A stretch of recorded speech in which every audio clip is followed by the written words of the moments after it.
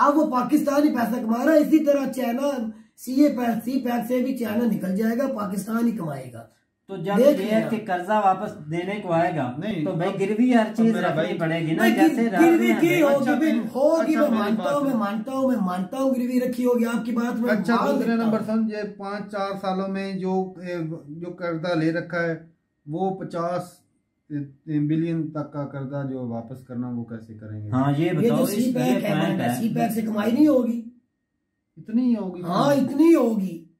सी pack पता हाँ, पूरी दुनिया की। जल रही है सी पैक से पूरी दुनिया की जल रही है। अमेरिका इसराइल और इंडिया ये तीनों कंट्री ये तो चाहते हैं कि इवन के जब जो बाइडन से मिलने गया ना जो मोदी मिलने गया इस तरह ये बात ज़रूरी समझी और सबसे इम्पोर्टेंट जो बात थी ना वो मोदी ने ये की थी सी पैक के बारे में ही। ठीक है ना? जिस तरह भी रोकना चाहे उन्होंने जो बाइडन को ये बोला था कि सी पैक रुकना चाहिए। सी पैक से ना हाँ। मेरी बात सुन जो उधर के लोकल अगर सी पैक की इतनी जलन ना होती मोदी को तो क्यों बोलते उधर जाके अमेरिका जो बाइडन के? ऐसे हाथ क्यों बांधते जो बाइडन को? हाँ। मेरी बात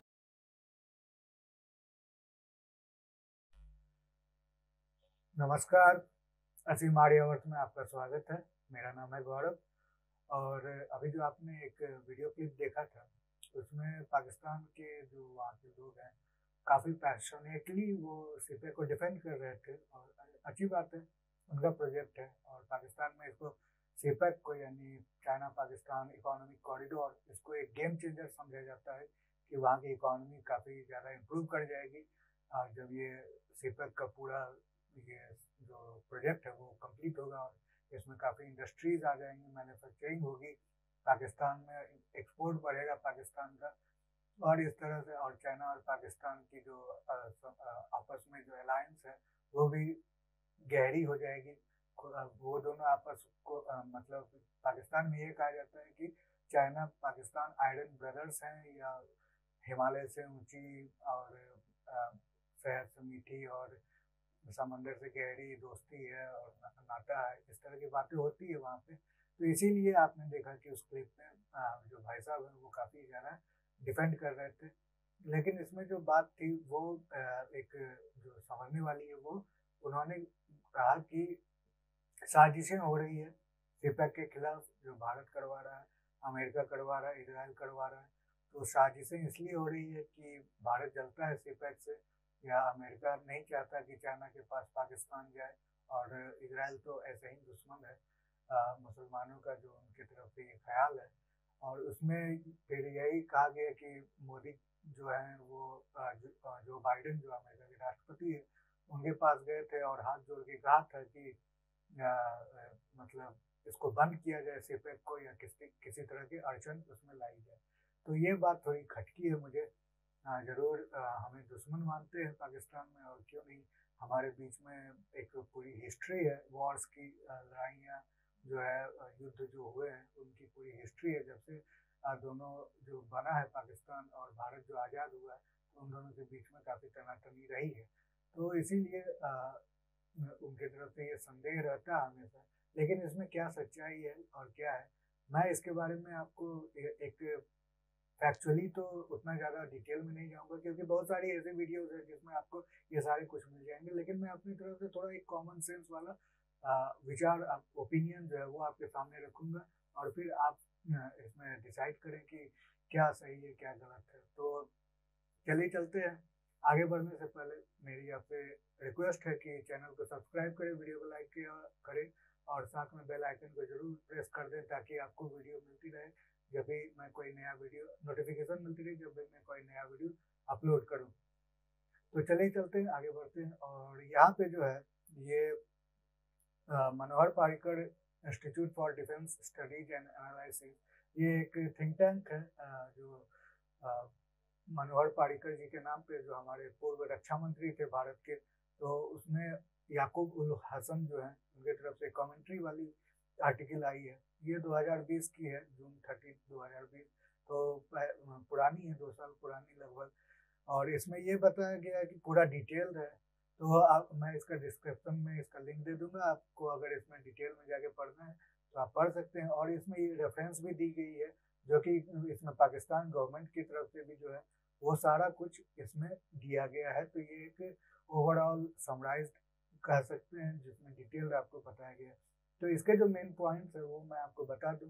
पहले तो यहाँ पे आप देख सकते हैं कि ये सीक्रेट था, इसका जो कंडीशन इसमें रखी गई थी टर्म्स एंड कंडीशन जो पाकिस्तान की गवर्नमेंट की तरफ़ से और चाइना की गवर्नमेंट में जो नेगोशिएशन हुआ था, उसकी जो डील साइन हुई थी, उसके टर्म्स एंड कंडीशन को सीक्रेट रखा गया है और एक्सक्यूज पाकिस्तान की गवर्नमेंट की तरफ़ से ये था कि ये नेशनल सिक्योरिटी का मामला है, इसलिए इसको पब्लिक नहीं किया जाना चाहिए। तो ये पहली बात। दूसरा अप्रैल में इसका शुरुआत हुआ था जब पहली खेप आई थी इंस्टॉलमेंट जो पैसों की इन्वेस्टमेंट आनी थी या लोन जिसको जो भी कह सकते हैं ये अप्रैल 2015 की बात है जब चाइना ने लगभग 46 बिलियन डॉलर का इन्वेस्टमेंट किया था फ़र्स्ट मतलब आ, उनका ये प्रॉमिस था कि 46 बिलियन डॉलर जो कि 15 साल के बीच अंतराल पे ही इन्वेस्ट किए जाएँगे और इसमें फिर बाद में जाके इसको बढ़ा के बासठ मिलियन बिलियन डॉलर कर दिया गया, यानी बासठ अरब डॉलर ये कर दिया गया। तो इसमें बहुत कुछ एडेड है, जिसमें आपका जो एक सबसे बड़ा फ्लैगशिप प्रोजेक्ट है, वो ग्वादर पोर्ट है।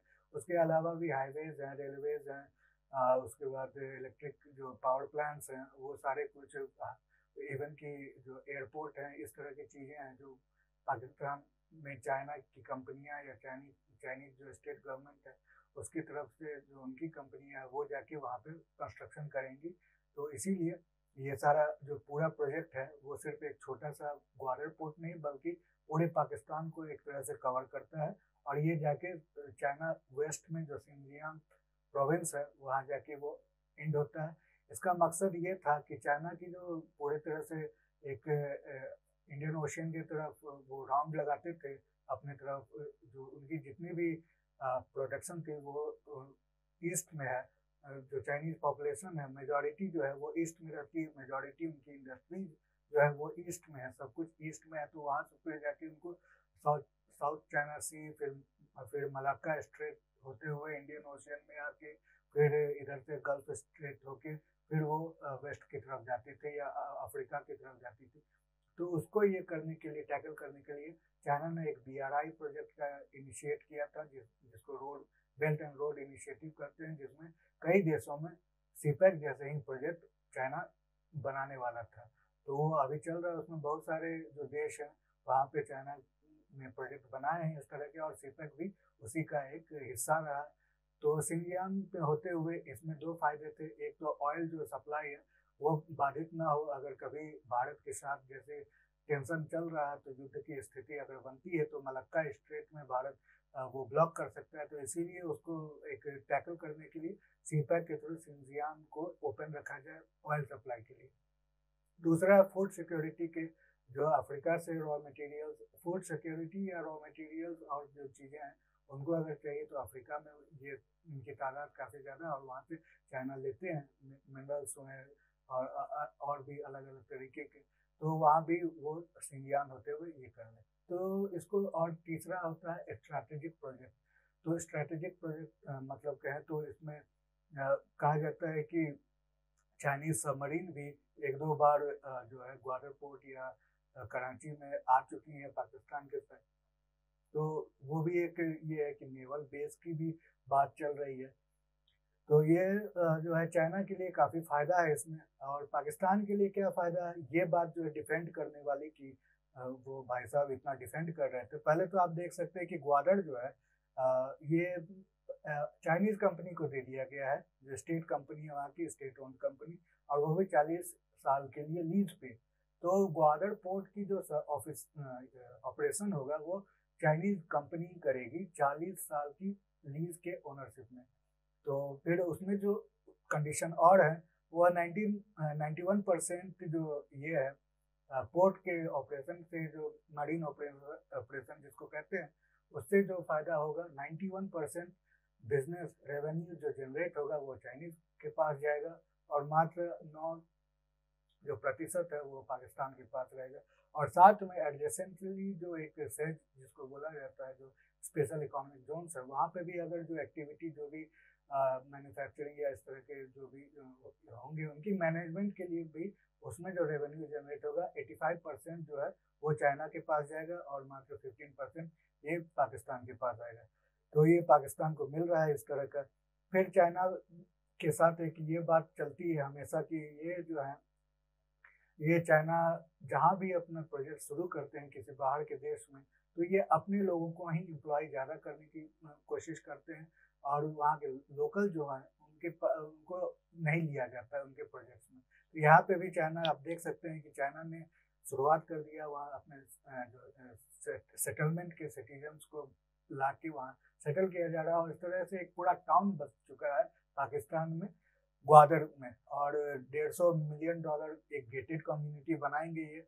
गेटेड कम्युनिटी होती है कि इसमें जो आम नागरिक होंगे पाकिस्तान के, वो नहीं आ सकते। वहाँ बस चाइनीज़ रहेंगे और बस उनका जो भी चक्कर रहेगा, जो भी उनकी वे ऑफ़ लाइफ स्टाइल है जो पाकिस्तान में शायद वैलिड ना हो, लेकिन वहाँ पे वो रह सकते हैं फिर भी। ये चाइना पाकिस्तान में ही ये कर रहा है। और दूसरे फिर लोन पेमेंट की बात है तो लोन पेमेंट में भी पाकिस्तान को हर साल जो ये 68 बिलियन जो मैंने बताया 68 अरब जो 62 अरब जो बढ़ गया था तो वो इंटरेस्ट और सब मिला के तीस साल में 90 बिलियन डॉलर पाकिस्तान को चुकाने पड़ेंगे टोटल और ये पर ईयर जो है वो लगभग लगभग दो बिलियन से लेके पाँच बिलियन यानी दो बिलियन डॉलर से लेके पाँच बिलियन डॉलर उनको रोज हर साल देने होंगे। और जो एवरेज बनती है वो लगभग लगभग थ्री पॉइंट सेवन बिलियन यानी तीन पॉइंट सात अरब डॉलर बनती है। तो ये पाकिस्तान को, चाइना को देने होंगे हर साल वो जो लोन है वो चुकाने के लिए। अब इसमें एक और चीज़ है, ये पाकिस्तान जो गेटेड कम्युनिटी की बात की, जो स्टॉल में मतलब वहाँ सेटलमेंट की बात की चाइना को, उसका प्रोटेक्शन भी पाकिस्तान की तरफ़ से ही दिया जाएगा, जिसमें नौ हज़ार सैनिक नौ हज़ार जो रेगुलर पाकिस्तान आर्मी के, पाकिस्तान सेना के जो सैनिक हैं, वो सिक्योरिटी में लगे हैं। चाइनीज़ जो भी जो सिटीजन्स होंगे, जो काम पे आए होंगे, उनके लिए। और साथ में साठ हज़ार सात छः हज़ार जो पारामिलिट्री है, वो भी उनकी सिक्योरिटी में लगाई ये सारा जो खर्चा एक्सपेंडिचर जो भी होगा, वो भी पाकिस्तान बेयर करेगा। पाकिस्तान की गवर्नमेंट बेयर करेगी, पाकिस्तान के जो टैक्स पेयर है, वो बेयर करेंगे। और इसी तरह तो फिर ये जो एक छोटा सा मैंने बताया उदाहरण वो यहाँ पे है। तो पाकिस्तान को क्या मिला? मैंने आपको चाइना के बात बता दी कि उनको स्ट्रेटेजिक एक एडवांटेज मिल रहा है। दूसरा, उनकी जो रूट है, वो एक मतलब अनइंटरप्टेड जिसको कह सकते हैं तो वो उनको रूट मिल रहा है जो सप्लाई चेन अगर प्रॉब्लम नहीं होगी उस साइड से। तीसरा जो है, उनको काफ़ी ज़्यादा जॉब्स मिल रही है पाकिस्तान में, जो उनके सिटीजन्स है उनके लिए और उनके कंपनी के लिए और साथ में जो इन्वेस्टमेंट का जो भी रेट ऑफ़ रिटर्न होगा वो उनको एक तरह से तीस साल के लिए मिलता रहेगा पाकिस्तान से जो कि मिलियन बिलियन डॉलर्स में रहेगा। तो ये है।